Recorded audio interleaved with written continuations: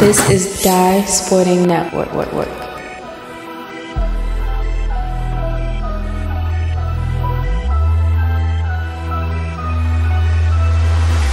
Michael. Also joining them are the principal Nelda Sims, athletic director John Shaw, along with assistant principal Stocka Stewart, Megan Sanisi, and Sherry Levine. They will now present the individual and team awards to the 3A runner-up, Reservoir High School David.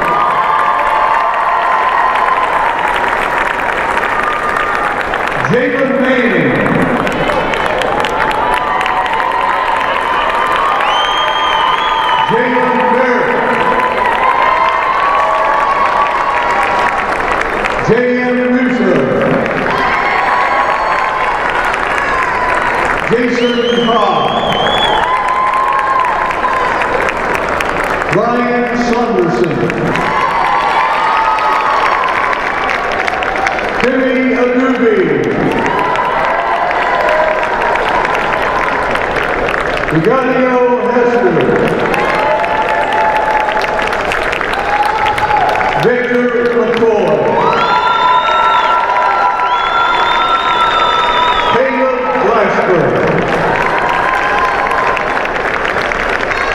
Dayton Toller.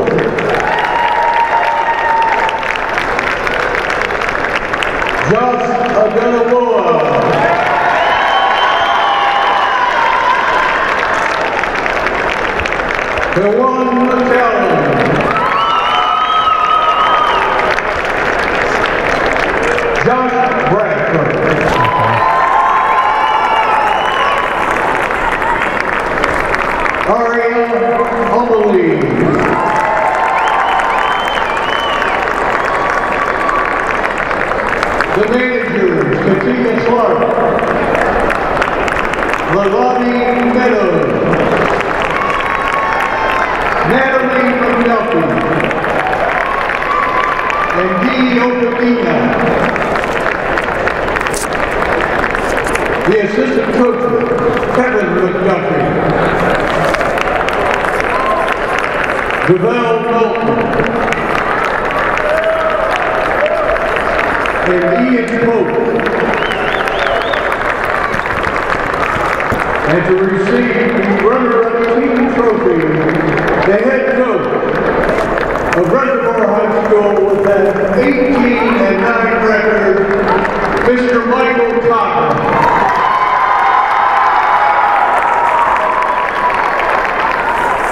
Congratulations to Reservoir High School boys basketball team on a fine season.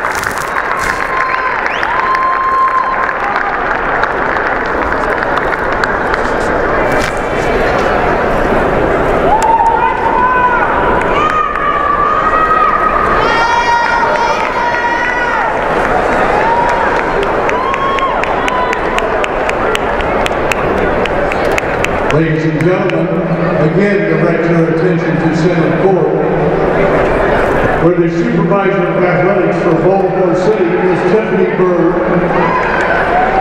will be joined by Principal Ms. Jacqueline Williams and athletic director Phil Thompson, along with assistant principal Matthew Wolfson from Poly of Baltimore to present the championship award and team trophy to the Poly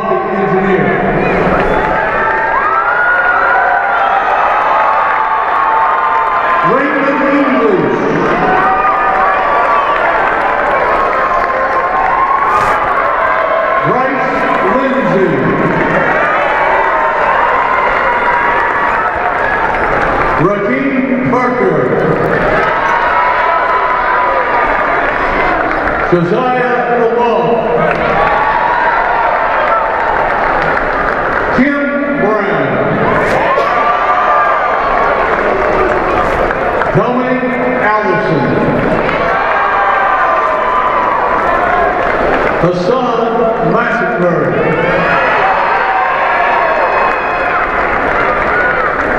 Montrell Jackson.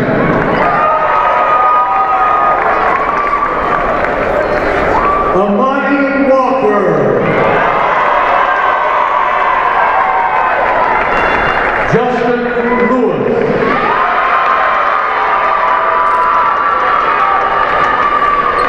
Raheem Ali.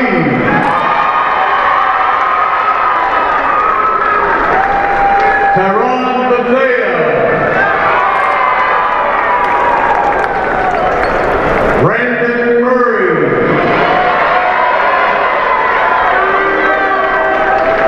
Ian Wallace.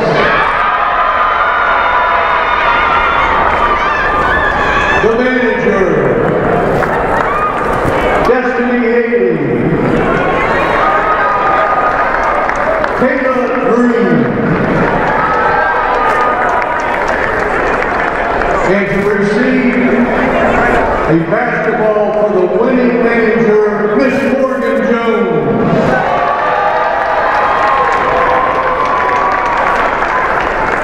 The assistant coaches, Mike Turner,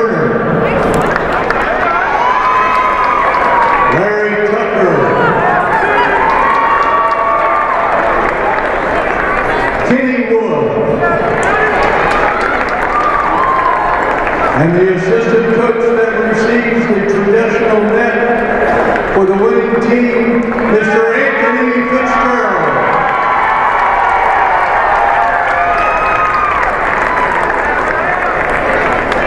And receiving the team championship trophy for the championship, Mr. Sam. Coach Brand receiving the trophy for a third straight season. We talked earlier in the year. I was looking forward to this goal to getting back here to Xfinity Center. Poly trying to double dip it on the girls' end. By the time this comes out, you'll know if the girls have done it or not. But we know one thing, the Poly boys have done it for a third straight season.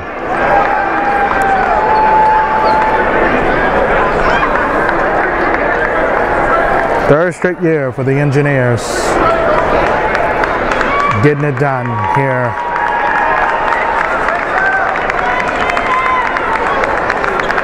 Listen, what a story. Poly, one time, not known for basketball on the boys' end. Know a lot for it on the girls' side, but they have become not only a state power now, but a national power. And the engineers move on to next season. Team that will be intact for the most part. We say so long to you for now, the Dye Sporting Network. Patterson Wicomico out of the Eastern Shore for the 2A championship coming at your way here shortly here on the Dye Sporting Network. You stick and stay right here with us.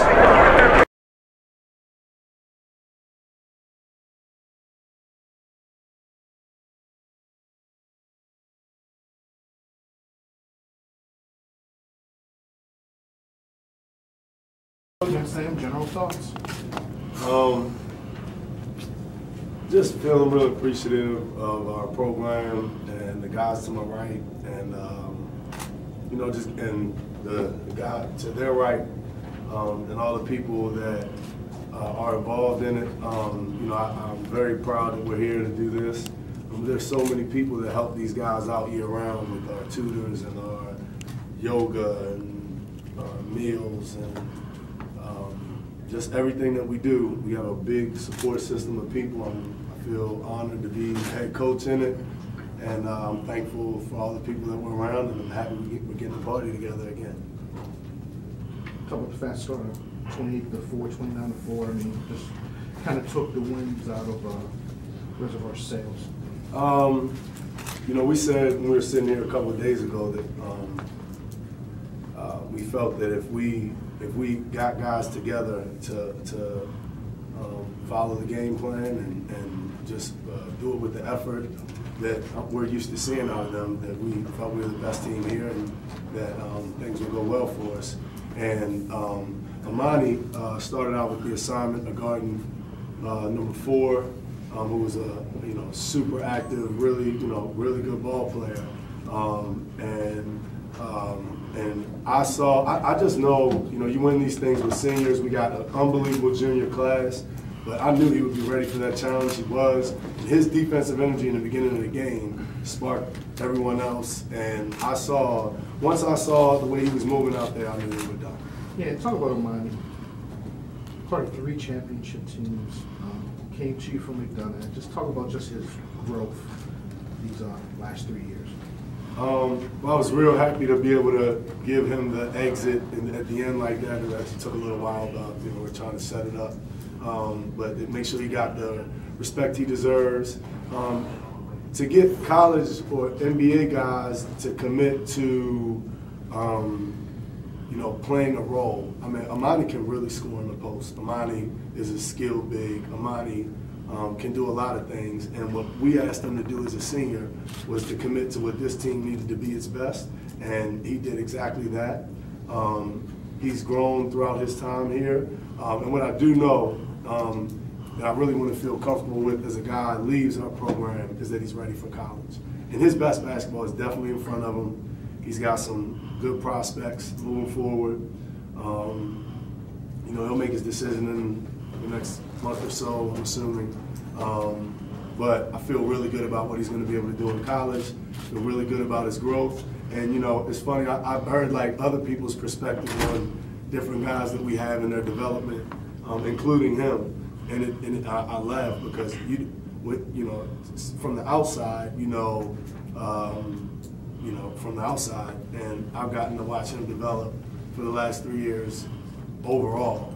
Um, and the basketball part now, I think, is going to um, really skyrocket for him because he's developed as a young man, and I'm real comfortable where he is there. So moving forward, I'm, the question, three years of um, a lot of ups and downs, a lot of button heads, uh, a lot of growth uh, opportunities. Um, but, but but that's what I mean. You know, I, I know they're laughing, and I, I you know, I, it's funny to me too. But you know, that's what this is about. This is about banging our heads against each other and then coming right back to the table and figuring out how to grow from it. Um, so we've done plenty of head banging together and then plenty of growing.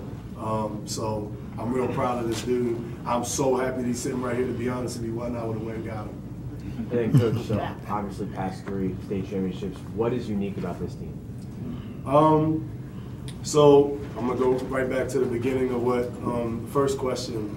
Um, I think we're different. Um, I told these guys in the pregame speech, which I get really excited to give, um, that we're different, and we've established ourselves um, from the beginning of our program, even when we weren't winning state championships, as what I like to think um, as people that are um, more committed to what we're saying we're going to do than saying it itself. Um, so, you know, everybody says they're a family, everybody says they care about their guys beyond basketball, but myself, Coach Fitz, our entire staff, I'm just proud of the way we show these guys.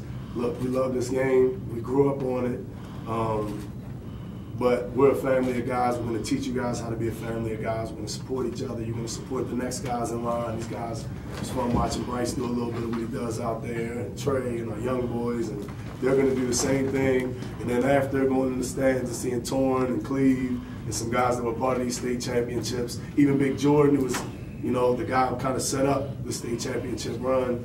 Um, you know, I think that we we took the time to build.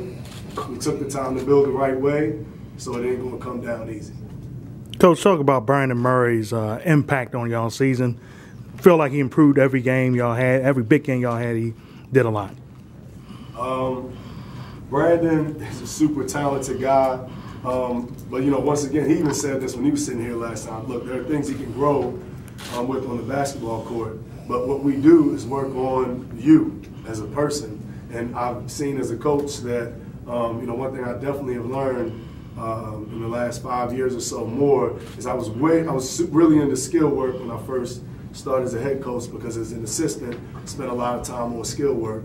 Um, and you know, it's just it is very important, and we continue to work on it. But you know, the mindset is the most important thing that you can develop in a young person that faces the challenges that come with being a high-level student athlete. And Brandon has been developing his mindset since he got to us, and his skill set is getting to show more because of it. Um, so I'm real proud of his development thus far, and we're really just getting started. I mean, I, I um, you know, all these guys, I feel that, you know, their their growth is just getting started. I'm proud of what it's done up to this point, but, um, you know, real excited where it's going to go from here.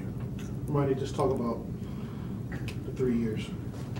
Um, coming in from McDonogh to Poly definitely was a big transition with the academics, but being with you know, the guys to my left and right, especially Coach Sam, helped me through all the you know, problems and all that. But I think the thing that really like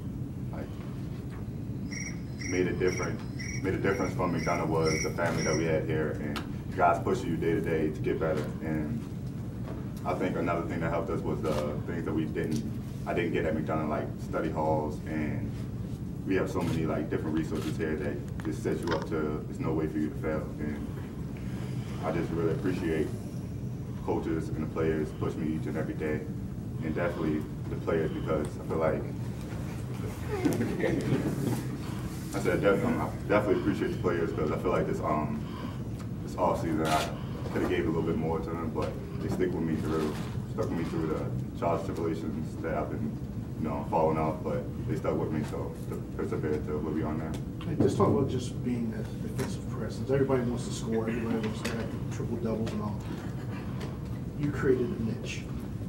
Um, well, I feel like, you know, the players that we have to my right are very skilled, and I just want to make a presence to things that we aren't doing, or just being a leader, or let's say a captain of, you know, defense really. So doing things that, you know, players don't really like to do, like, you know, getting their head, stick your head in there, getting rebounds, out the floor, taking charges. So doing those type of things when you already have three high-level D1 players. So just doing the things that they, you know, we all can do, but just doing the tough things so we can get that W at the end. All right. of you guys could just talk about, uh, talk about mine. He's your Ben Wallace. Oh, Uh, I just say, me and Money came in the same year. He changed. Like this year, you know, being the point guard, you gotta, you gotta uh, keep everybody at tag. You, got, you can't be the one to get out of control. And sometimes you, you got, you, you get there, you get out of control. And I know Monty is that one person I can just go to. Always has a good attitude. Always to get me right. And that, that was a, that was a big, big uh, thing for me this year he really stepped up at this end, and I, I seen the change throughout the three years, and I appreciate that. Uh, It's my guy. I don't miss him. Uh, just playing with Monty, it's, it's been good. In practice, he challenges me every day, and he just never back down. Like, I don't, I don't care, like, who's your big man? He just, he ain't gonna back down without a fight. I'm, I'm just happy to be a part of this team. Monty just, to me, Monty just brings his game, he brings his like, and brings his energy to every single game. And Monty just always in the right spots. He's always just filling the lane, he's doing the things that we kind of lack on. And it's just been great playing with Monty this season. Hey, just talk about, all you guys can answer it, being a part of history. Um, since, probably since a year ago, you guys were the favorite. You guys had the burden of expectations of finishing a uh, piece of history. You know, 65 days after you guys got it. Um, I would talk about how, like, coming in, we have always looked at as, like, the skill guys or something, like, in that order, but it really started with the guys that came before us that worked hard at practice that really didn't have as maybe as much skill as us and as much resources as us, but they set the platform for us to get where we are now, and we wouldn't be there without them. Like guys like Big Jordan, Dre Perry, Demetrius, Self, Cleve. Yeah, definitely. All those guys definitely started this for us. So from here, we're just gonna keep on going up. Coach, today your, your, your press was more or less a closer. You were out there, the game you know, stretched the lead. Um, has that been the case all year? Has it been a closer for you all year? Um, the, really, whatever we needed at that particular time. Um, so we've had different, we played St. John's DC, and uh, we had a stretch, we were pressing early. We had a stretch where they started to figure the press out. Casey was killing us. Um, and we switched to our zone um, with about a minute. No, it was like two and a half minutes left in the fourth quarter and rode it out through overtime, and that won the game for us. Um, St. Francis, I believe we played our zone most of the game. Uh, regional championship, we ran our man pressure most of the game. Um, so the uh, we really felt like we had a group of guys that were, were capable of beating anybody and doing it in different ways.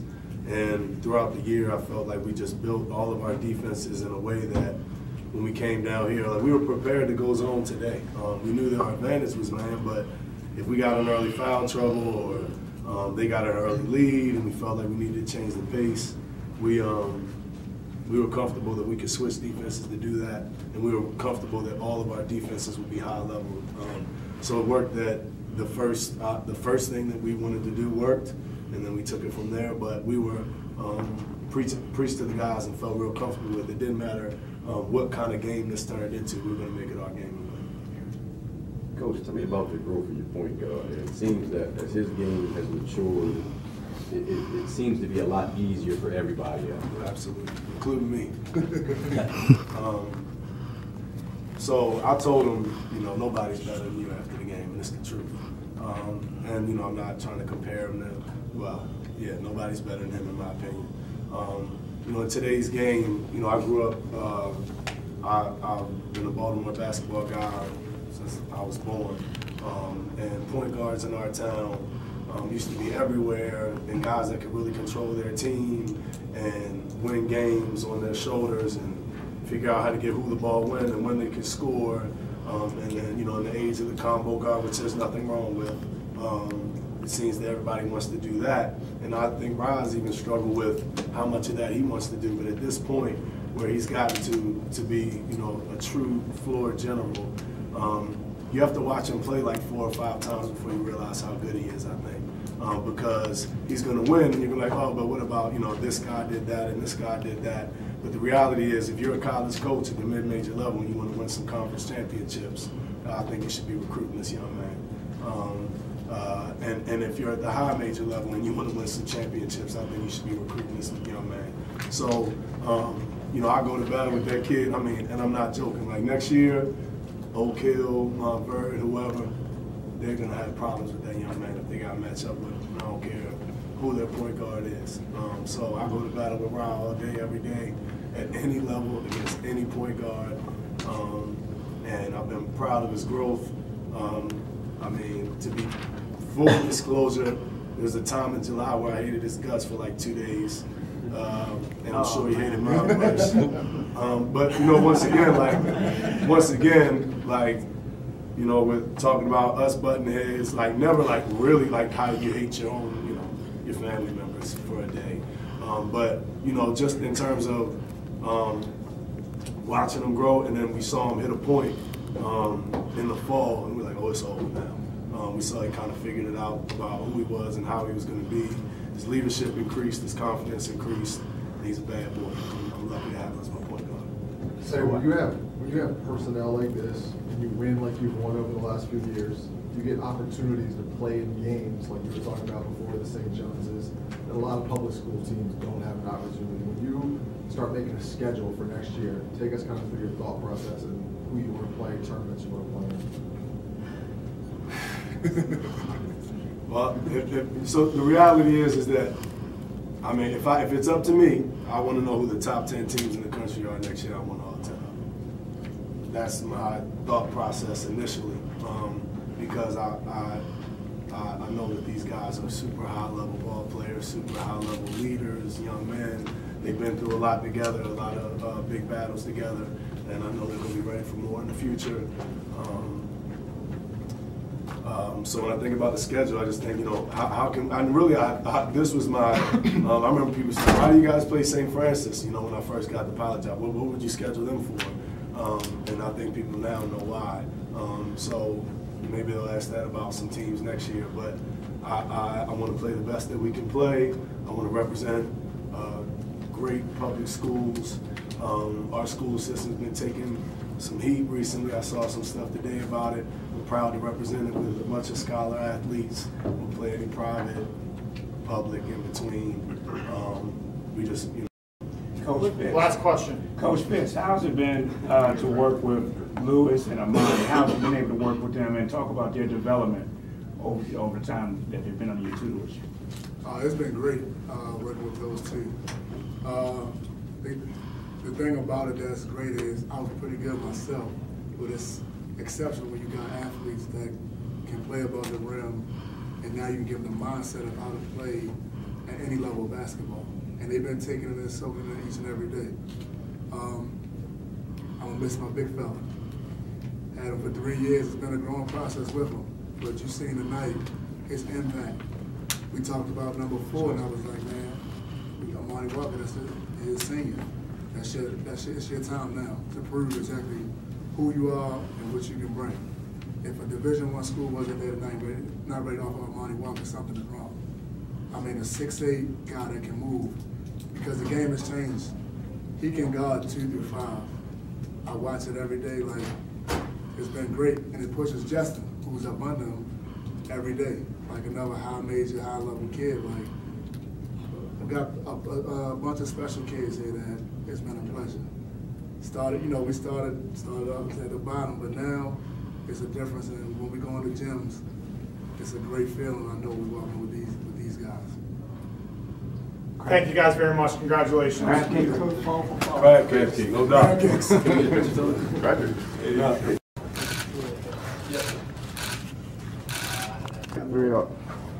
Three P and three A. That's what he wants to